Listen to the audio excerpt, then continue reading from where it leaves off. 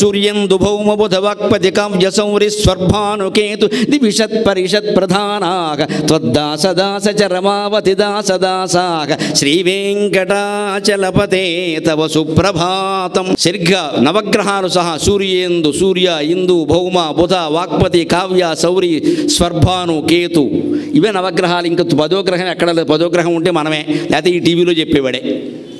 అది పట్టుకుంది ఇది పట్టుకుంది అని చెబుతాడు. వాడే పదో గ్రహం తొమ్మిది గ్రహాలు వదిలితే కానీ వీడు వదలడు.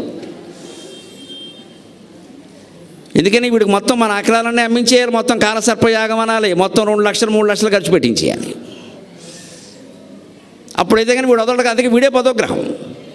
ఈ తొమ్మిది గ్రహాలు కూడా ఎక్కడుంటాయా దాస దాస చ రమావధి దాస దాసాహ స్వామివారి యొక్క దాసునికి దాసునికి దాసునికి దాసుడే సేవలు చేస్తాయి సూర్యచంద్రుడు సహా. అటువంటి వెంకటేశ్వర స్వామిని మనం ఆశ్రయించిన తర్వాత మళ్ళీ చేయి చాపి యావండి నా గురుడు ఆరులో ఉన్నాడా శుక్రుడు మూడులో ఉన్నాడంటే ఎక్కడ లేడు అందరూ స్వామివారి కాళ్ళ దగ్గర ఉన్నారు. మాట్లాడుకోవచ్చు స్వామివారిని నమ్ముకో.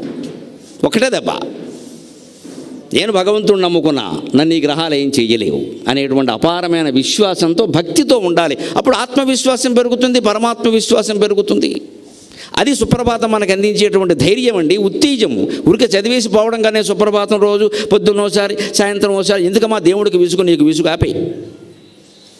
దాని అర్థం గ్రహించినప్పుడు దాన్ని ఆచరణలో పెట్టుకున్నప్పుడు ఎన్నిసార్లు చదివినా దండగే. పారాయణ పరిచయాలు చేసాం ఇరవై ఆరు చేసి ఇవన్నీ గిన్నీస్ బుక్ రికార్డులకు మనకు వస్తే పక్క వాళ్ళ ముందు గొప్పలు చెప్పుడు కానీ పనికి వస్తే మళ్ళీ అహంకారాలు పెరుగుతాయి నాకేం మొహమాటం లేదు. చెప్పడానికి ఈ మధ్య జరుగుతున్నది అదే. నేను పొద్దున్న సాయంత్రం వరకు చదివానండి. ఎందుకు పని లేక కాసేపు పడుకోరాదా? దేవుడు కూడా విసుగు. ఇంకా మేము వంద మంది కలిసి చదివాం. ఇది పెద్ద సామూహిక కార్యక్రమం దేనికి వంద మంది చదవడం ఎవరెళ్ళో వాళ్ళు చదువుకోలేరమా నాకు అర్థం కాదు. ప్రతిదానికి సామూహికం ఒకటి పెట్టాము ఈ వచ్చిన అదంతా గొప్పకి మా ఇంటికి వెయ్యి మంది వచ్చారు. వంద కార్లు వచ్చాయి. ఎవడు వస్తే దేవుడు రాలేదమ్మా. కార్లు వచ్చాయి అంతే. మనకాల రిపేర్ చేసేవాళ్ళు వచ్చారు. ఈ గొప్ప ఈవిడి పట్టగానే మళ్ళీ అక్కడ ఆవిడ. ఆవిడ కంటే ఎక్కువ చేయాలి. ఇందులో మళ్ళీ కులాభిమానాలు కులద్వేషాలు రకరకాలు.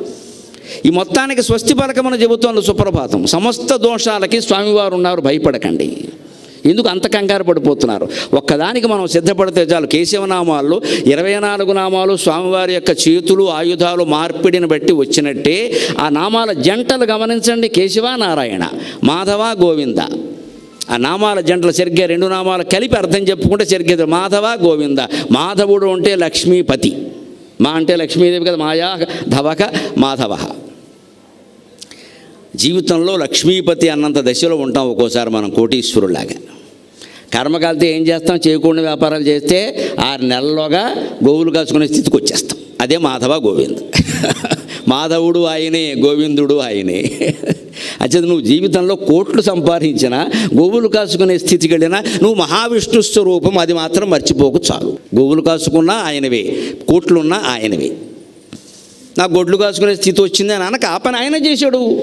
ఆయనకంటే గొప్పగా మనం మనం గొప్పవాళ్ళమా? అంతకంటే ఆయన ఆ పని చేశాడండి. ఎనిమిదేళ్ళ పాటు గోవులనే కాశాడు ఆయన పెళ్ళి అయ్యే వరకు. తర్వాత ఈ పదహారు వేల మందిని కాసుకోవడం సరిపోయింది. అది ఇంచుమించు అటువంటి పనే. మరి ఏమైంది ఇంకా? అంతకంటే గొప్ప అని ఆయన గోవులు కాశాను. ఆయన నా పేరు గోవిందుడు అన్నాడు. గోపాలుడు గొప్ప కృష్ణుడు అంటే మామూలుగా అన్నారు గోపాల కృష్ణుడు అంటారు. ఆయనకి ఇష్టమైంది బాగా. పైగా కృష్ణుడి చిత్రం మీరు గమనించండి. విగ్రహం కానీ ఫోటో కానీ పదహారు వేల మంది ఉన్నారంటారు. పదహారు వేల మందిని పక్కన మా ఎనిమిది మంది కూడా పక్కన ఉండరు ఆయనకి. కనీసం రుక్మిణీదేవి కూడా ఉండదు. ఏక నిరంజన్ ఒక్కడే ఉంటాడు. ఒక్కడే ఉంటాడు. అదే రాముడు ఉంటే హనుమత్ సీతాలక్ష్మణ భరత శత్రుఘ్న సమేత శ్రీ రామచంద్ర పరబ్రహ్మణే నమక ఆయన మహారాజు. మొత్తం సెట్టింగ్ లేకపోతే ఉండ ఆయన. నేను ఉండనండి సీతాదేవి ఏదంటాడు. ఆయనకి మళ్ళీ బాధ వస్తుంది. రావణాసురుడు మళ్ళీ ఎత్తుకుపోయాడు ఏంటండి సీతాదేవి పక్కన ఉండాల్సిందే. కుదరదండి ఆయన మహారాజు. మహారాజు అంటే పక్కన వింజామరలు వీచేవాళ్ళు ఉండాలి. పక్కన సేవకులు ఉండాలి. వందిమాగతులు ఉండాలి. ఆయన మహారాజు అంటే క్షత్రియుడు రాముడు. క్షత్రియత్వానికి తగినట్టే ఉంటాడు. అందుకే హనుమంతుడు సీత లక్ష్మణుడు భరతుడు శత్రుఘ్న సమేత వశిష్ఠ మహర్షి మొదలైన వాళ్ళందరూ ఉండాలి. శ్రీకృష్ణుడికి అది ఏమీ లేదండి. మహాయోగి. రాముడు ధర్మానికి ప్రత్యేక. శ్రీకృష్ణుడు యోగానికి ప్రేమకి ప్రత్యేక. మహాయోగి. మహాయోగి అయినవాడు అకేలా ఏక్ నిరంజన్ యోగి అయినవాడు ఎప్పుడూ ఒక్కడే ఉండాలని కోరుకుంటాడు. ఎవరున్నా చికాగ్గానే ఉంటుంది. అందుకే శ్రీకృష్ణుడు ఎప్పుడు ఒక్కడే ఉంటాడు. అంత ఏకాంతంగా ఉండే శ్రీకృష్ణుడి చిత్రంలో కూడా తప్పనిసరిగా శ్రీకృష్ణుడితో పాటుగా ఉండేది గోమాత గోమాత ఒక్క గోవు ఖచ్చితంగా ఉంటుంది శ్రీకృష్ణుడితో పాటు. ఆయన ఒక్కడు మొరలు వాయిస్తే వెంటనే ముందొచ్చేవి గోవులే. అందుకే గోవిందుడు గోపాలుడు అయిన బట్టి ఆయనకి చాలా ఇష్టం కదా. మాధవ గోవింద నీకు మాధవత్వం పట్టినా సరే గోవిందత్వం పట్టినా సరే రెండూ భగవత్తత్వాలే అని అనుకో. అంతేగాని ఇలా అయిపోయింది ఏమిటి జీవితం అనుకోక. అదో లీలా ఇదో లీలా. సోమవారం మంగళవారం తేడా ఉన్నట్టే అంతే. అందుకే కేశవనారాయణ మాధవ గోవింద. ఇలాగ నామాల జంటల యొక్క అర్థాలు చూసుకుంటే అప్పుడు తెలుస్తుంది. ఉత్తిష్టం ఉత్తిష్ట గోవింద ఉత్తిష్ట గరుడధ్వజ. గరుడధ్వజుడవైన నువ్వు మేలుకో. గోవిందుడవైన నువ్వు మేలుకో. ఎందుకు మేలుకోవాలయ్యా? మేలుకుని ఏం చేయాలయ్యా? సుఖంగా ఉంది కదా పడుకుంటే అనొచ్చు స్వామివారు కూడా. అందుకని చెబుతున్నాడు కర్తవ్యం అన్నాను స్వామి. ఉత్తిష్ట కమలాకాంత లక్ష్మీదేవికి భర్త అంటున్నారయ్యా. ఆవిడ పేరు కమలాదేవి కదా. కమలం అంటే పద్మం కదండి. పద్మంలో పుట్టింది ఆవిడ. పద్మాలయ పద్మప్రియే పద్మిని పద్మహస్తే పద్మాలయే పద్మదళాయదాక్షి పద్మంలో పుట్టింది ఆవిడ. పైగా లక్ష్మీదేవికి చూడండి మీరు రెండు చేతుల్లో ఎప్పుడూ పద్మాలు ధరించి ఉంటుంది. పద్మం అంటే అంత ఇష్టం ఆవిడకి. సంపదకి ప్రతీకగా పద్మాను చూస్తాం మనం. అందుకని శ్లోకంలో ఏమన్నారంటే ఉత్తిష్ట కమలాకాంత అటువంటి కమలాదేవి పద్మవ రూపంలో నిన్ను ఇష్టపడుతుందయా నిన్ను ప్రేమిస్తుందయా నువ్వు తప్ప మరొకరిని ఆవిడ అంగీకరించదు. పైగా ఎంతగా అంగీకరించదు అంటే నిత్యానపాయిని అంటారు సంప్రదాయంలో. ఎప్పుడు ఏ క్షణము ఆవిడ ఆయన విడిచిపెట్టదు. ఆయన వైకుంఠంలో ఉంటే వైకుంఠం లేకపోతే వెంకటాచలం వస్తే వెంకటాచలం తిరుపతి వస్తే తిరుపతి విజయవాడ వస్తే విజయవాడ వచ్చేవలసిందే ఆయనతో పాటు ఆవిడ ఉంటుంది. తన వెంటన్ సిరి అన్నారు పోతన గారు ఎందుకని ఆయన ఎక్కడుంటే ఆ వెనకాల ఉంటుంది ఆవిడ. తన వెంటన్ సిరి అంటే విష్ణుమూర్తిని మనం ప్రార్థిస్తే సంపద ఇమ్మని వేరే అడగక్కల్లా ఆయనతో పాటు ఆవిడ వస్తుంది మన ఇంటికి. అంచే సంపద వస్తుంది ఖచ్చితంగా.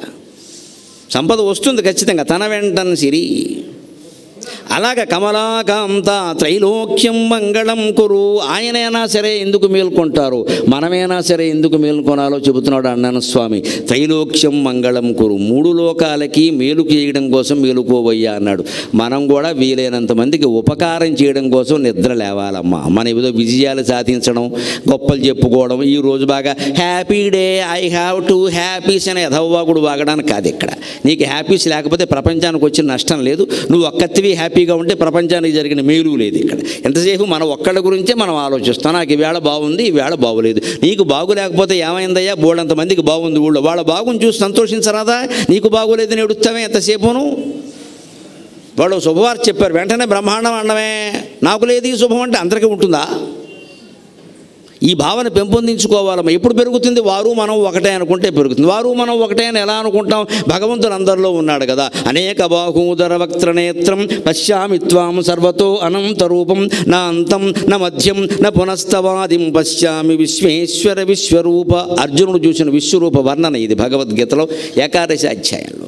అనంత బాహు ఉదర వక్త్ర నేత్రం స్వామి ఇక్కడ అనేక బాహువులు అనేక ఉదరాలు అనేక ముఖాలు అనేక నేత్రాలు కనపడుతున్నాయి. ఇవన్నీ నాకు ఒక్కడివే అని అర్థమవుతుంది అన్నాడు. ఇప్పుడు ఈ సభలో ఇంతమంది మహిళామణులు ముందు ఉన్నారు అంతమంది పురుష పొంగవులు వెనకాల ఉన్నారు. నేను ఇక్కడ ఉన్నాను? స్వామివారు అక్కడ ఉన్నారు? వారు పండితోత్తములు అక్కడ ఉన్నారమ్మా? ఇవందరికీ వక్తాలు లేవా? ఉదరాలు లేవా? నేత్రాలు లేవా? ఈ సభా స్వరూపం మొత్తం శ్రీ వెంకటేశ్వర స్వామి అనుకుని మనం నమస్కారం చేసుకోవాలి.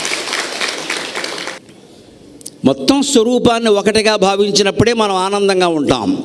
నేను నాది అని కొట్టుకున్నంత కాలం దుఃఖంతోనే ఉంటాం.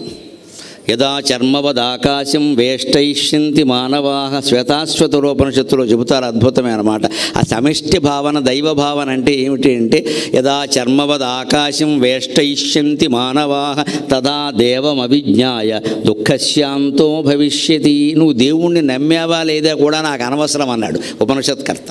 అది కూడా నాకు అనవసరమయ్యా. దేవుణ్ణి నమ్మేమనేవాడు అందరూ నిజంగా నమ్మినట్టు కాదు. దొంగ నమ్మకాలు చాలామందికి ఉన్నాయి. కోరికల కోసం నమ్మకాలు చాలామందికి ఉన్నాయి. కోరిక తీరే వరకు నమ్మడం తీరే తీరకపోతే నమ్మడం మానేసేవాడు కూడా. మొత్తం షరతులు పెట్టేవాడు చాలామంది అందరూ ఏమి నిజమైన భక్తులుగా తొంభై శాతం దొంగ భక్తులే. మేము అప్పుడప్పుడు ఇంట్లో చర్చించుకున్నప్పుడు మాకు ఆశ్చర్యంగా ఉండదు. ఇంత భక్తి పెరిగింది పది పదిహేను ఏళ్ళగా ఇంత ఆధ్యాత్మికత పెరిగింది. ఈ రౌడీజం చేసేవాళ్ళు కూడా గుళ్ళోకి వస్తున్నారు కదా అసలు వాళ్ళే ఎక్కువ వస్తారేమో నాకు అనుమానం.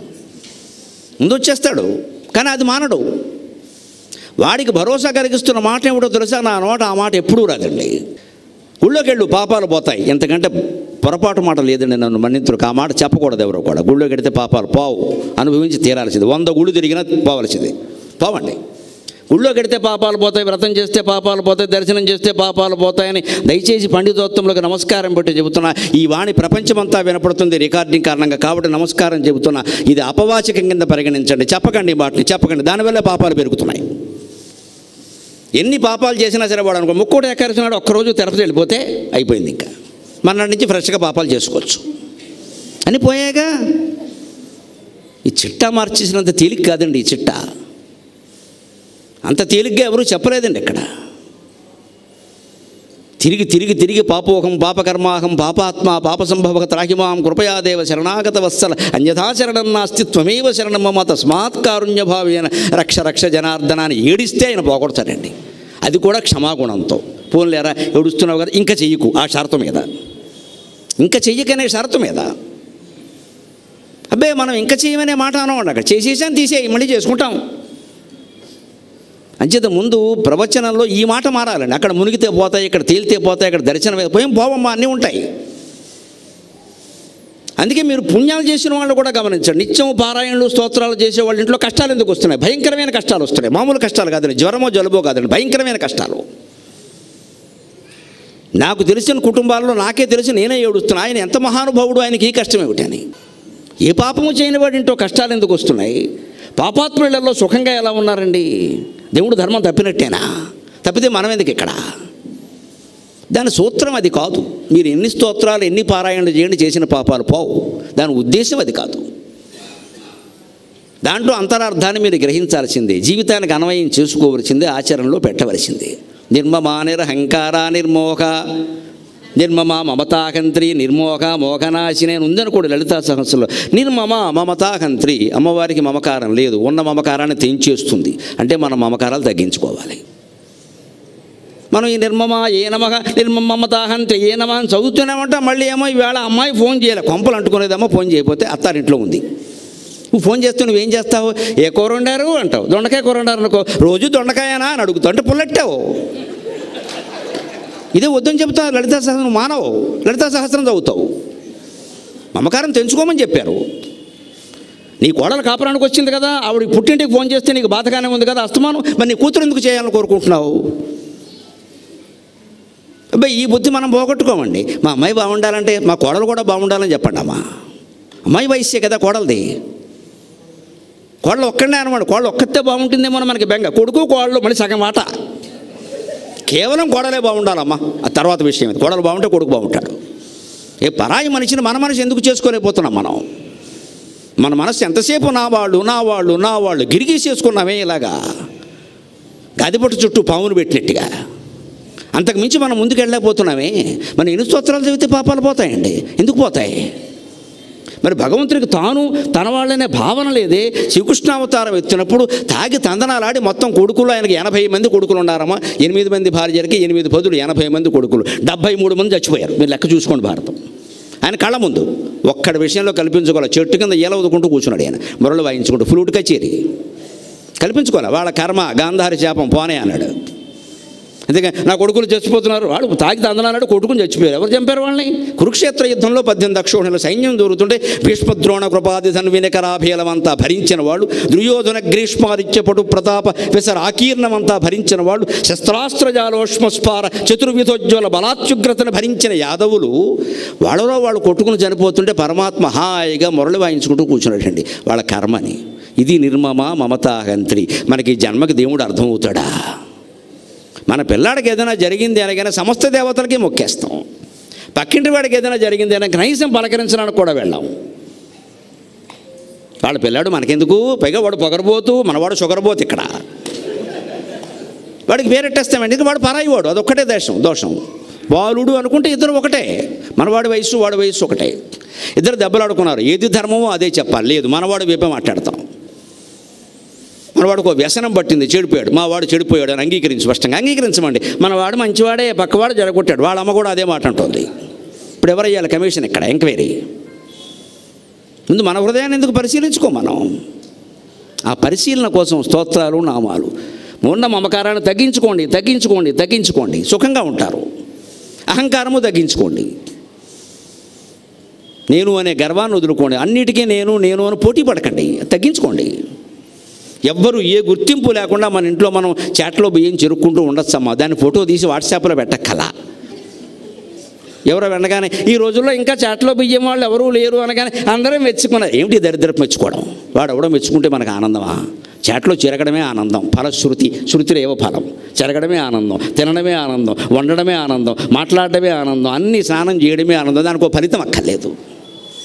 పుస్తకం చదవడం జ్ఞానం కోసం దానికి ఒక ఫలితం అక్కర్లేదు. ఫలితం ఆశించకుండా మనం పని చేయగలిగితే పనిలోనే ఆనందాన్ని పొందగలిగితే ప్రతి క్షణం ఆనందంగా ఉంటాం. భగవంతుడు ఎందుకు నిర్వికార చిత్తంతో అలా ఉండగలుగుతున్నాడు? నిలబడి కూడా ఉంటాడు. అంటే ఆయన మనం ఏం చేసినా సాక్షి భావంతో చూస్తున్నాడమ్మ వాడి కర్మవాడు అనుభవిస్తాడని తక్కువ వాడు కాదు. అందులో వెంకటేశ్వర స్వామిని తక్కువ అంచనా వేయకండి. కలవు వెంకటనాయక. కలికాలంలో మనలాంటి మనుషుల కోసమే పనిగట్టుకుని పుట్టాడు పెద్ద మనిషి. ఇది రామావతారం కాదు కృష్ణావతారం కాదు. శివుళ్ళాగా అమాయక చక్రవర్తి అసలే కాదు. విషం తాగే రకం కాదు. శుభ్రంగా కూర్చోబెట్టి తాగించేసే రకం ఇది.